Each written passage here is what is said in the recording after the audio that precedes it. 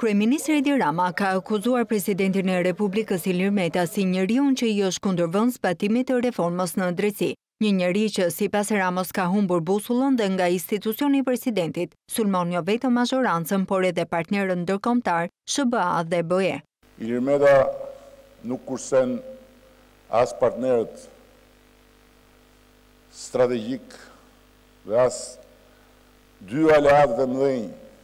të palëkundur dhe të pandryshueshëm të Shqipërisë,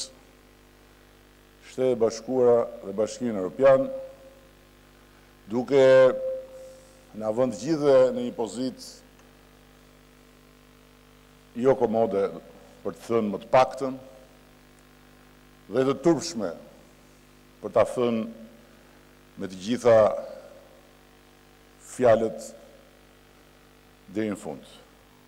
sepse insinuon haptas se këto përfaqësi të nderuara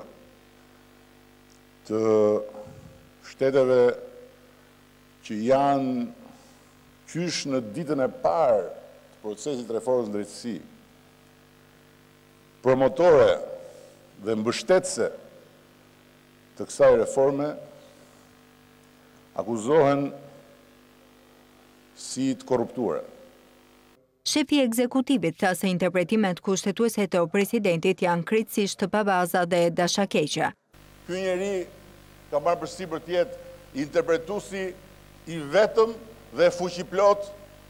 i Kushtetutës së Republikës së Shqipërisë, njësoj si ata talebanët që e quajnë veten interpretuesit e vetëm dhe fuqiplotë të Librit të Shenjtë. Edi Rama tha se Kuvendi voton rezolutën për të treguar qëndrimin e tij ndaj aktit antikushtetues të presidentit Meta për emërimin e Marsida Xhaferllarit si anëtare e Gjykatës Kushtetuese. Sipas tij, çdo veprim i mazhorancës është i koordinuar me ndërkombëtarët. Kushdo që do të kuptojë kupton që ne në këtë proces as jemi vetëm dhe as marrim përsipër që të vetëm të bëjmë reagimet tona. Reagimet tona janë të gjitha të koordinuara, pasi kemi dëgjuar dhe dëgjojmë me shumë vëmendje ata me të cilët e kemi bërë reformën në drejtësi dhe ata me të cilët do ta zbatojmë reformën në drejtësi. Kryeministri kërkoi nga Komisioni Hetimor të veprojë sa më shpejt, ndërkohë që Komisioni i Ligjeve të punojë për ndryshime që do të vendosin ligjshmërinë dhe për të mos lënë hapësira për interpretime. Në asnjë vend demokratik nuk mund të parashikojë se një vendi mund t'i bjerë taksirati të ketë një president si Ilir Meta. E për këtë arsye ky kuvend duhet të marrë masa ligjore, kushtetuse për të krijuar të gjithë mekanizmat zhbllokues. Dhe besoj se Komisioni ad hoc i ngritur për shkarkimin e Ilir Metës duhet ta konsiderojë shumë seriozisht edhe paketën e rekomandimeve për Kuvendin, ashtu sikundër në dritën e kësaj ngjarjeje të re Komisioni i Ligjeve dhe të gjithë deputetët duhet të kontribuojnë për të Riardhur këtu në Kuvend, më shpejt se vonë, dhe për të votuar këtu neutralizimin e akteve të Presidentit, e akteve antikushtetuese dhe antiligjore.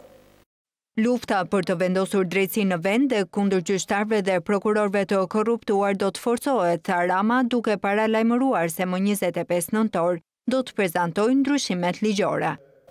Kam qenë këtu në këtë foltore kur kam folur për rastin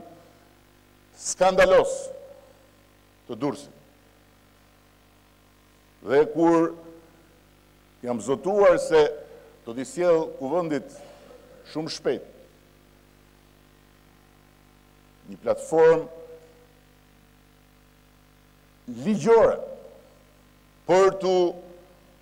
miratuar dhe për t'u kthyer në platformë lufte ndaj krimit të organizuar dhe KÇK-së. Në fund të seancës, me nëntëdhjetë e shtatë vota pro, Kuvendi miratoi rezolutën, në të cilën vendimi i Presidentit për emërimin e Marsida Xhaferllarit konsiderohet nul dhe i pazbatueshëm.